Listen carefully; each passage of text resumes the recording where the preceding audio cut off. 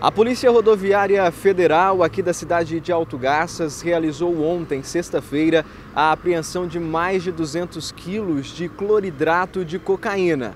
Nós conversamos com o policial rodoviário federal que nos traz mais detalhes voltados a esta apreensão. O dia que a Polícia Rodoviária, na sua fiscalização de rotina, pessoal da Cefaz, pessoal da Polícia Militar, trabalhando essa integração da, das forças de segurança é bastante importante e obteve êxito em abordar um veículo cegonheiro transportando uma doblô. O condutor embarcou esse veículo em Rondonópolis, com destino a Minas Gerais, e os colegas suspeitaram desse veículo e foram fazer uma fiscalização minuciosa, onde obtiveram êxito é, de localizar 225 quilos de cloridato da pasta base de cocaína. E claro, é sempre importante essa fiscalização né, que a Polícia Rodoviária Federal vem fazendo aí, tirando de circulação essas quantidades expressivas. A gente pode até mencionar aquele mais de 400 quilos que foi apreendido também aqui na unidade de autogás. Ah, sem dúvida. E cada dia a gente vai aprendendo mais os modos operantes.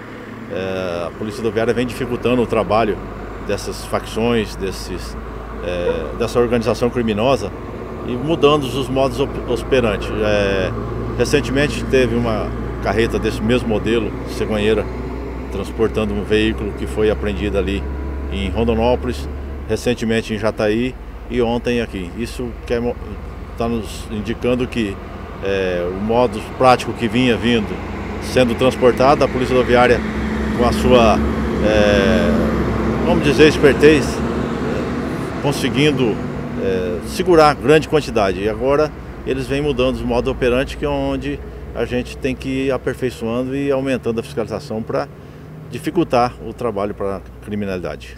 Voltando a esse caso de ontem, o motorista então ficou preso e a droga encaminhada aí para a Polícia Civil. Ah, positivo. Apesar dele, é, tudo levou a transportadora, ele mostrou conversa de grupo de WhatsApp, conversa privada do, do, do motorista que passou a carga para ele, do pessoal.